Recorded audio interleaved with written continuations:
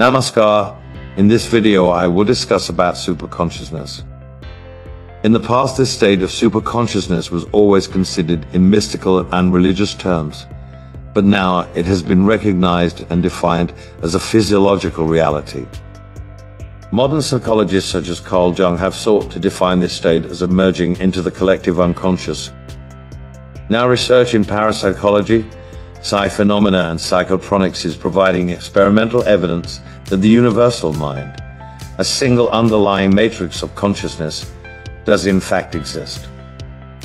The superconscious or universal mind is realized progressively as the barriers separating the three normally distinct forms of awareness are removed by such practices as yoga nidra and meditation. The murky and unknown unconscious mind of the individual is then illumined revealing the entire superconscious dimension. This process of illumination of the total mind is the real meaning of liberation, self-realization, kaivalya, moksha or samadhi.